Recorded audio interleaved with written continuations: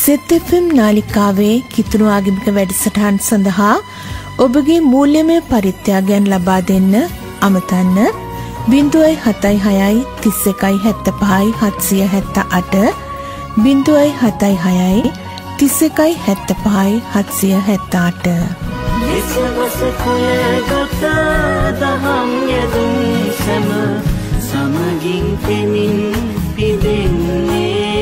සුබම සුබ දවසක් වෙන්නට කියලා හදවතින්ම ප්‍රාර්ථනා කර අතර ඔක්තෝබර් මාසේ අන්තිම දවස එමනම් ඔක්තෝබර් 31 අපේ රට වාසීන්ට ඒ වගේම අපේ Hindu බැතිමතුන්ට සහෝදර සහෝදරයන්ට හරිම සුවිශේෂී දවසක් Deepavali. So let me wish all of you happy Deepavali feast.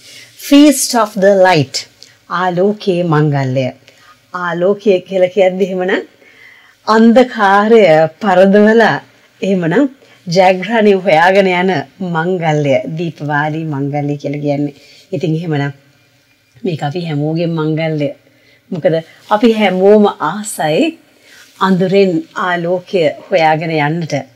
අපි කවුරුත් කැමති නැහැ අඳුරු භාවයට. ඒක නිසා තමයි අඳුරු තැනකට යනකොට පුළුවන් තරම් ඉක්මනට අපි ලයිට් එකක් දානවා. ඇයි? අපිට අඳුර අඳුරට ගියොත් අපි අතපත ගන්න වෙනවා. අපිට හරියට බලන්න බැරුව යනවා. විනිවිද පෙනෙන්නේ නැතුව යනවා. ඉතින් ඒක නිසා තමයි ආලෝකය අපි දැල්ව ගන්නේ. ආලෝකයේ දැහැ දහරාව කියලා කියන්නේ ජීවිතේ ලොකුම ශක්තියක්. මගේ අත්තරන් අම්මේ තාත්තේ දුවේ පුතේ. එහෙමනම් අපි හැමෝටම ආලෝකයේ දරුවෙක් වෙන්නට කියලා අද දවසේදී නවත වතාවක් මේ ලස්සන ශුදෝ මංගල්‍ය දවසේදී අපි හැමෝටමත් ආරාධනා කරනවා. එහෙනම් ඔබ තවමත් කොහේ හරි අඳුරු තැනක ඔබ හිර වෙලා ඉන්නවා කියලා හිතනවා නම් ඔබට ආරාධනා ගසලා දාන්න. ඒ සියල්ලට නැවතීමේ තෙත තියන්න. තියලා අඳුරෙන් ආලෝකයට පියවරක් නගමු. ඒ සඳහා දිවියන්ගේ ආශිර්වාදය හැමදාමත් අප සමගයි. ආමෙන්.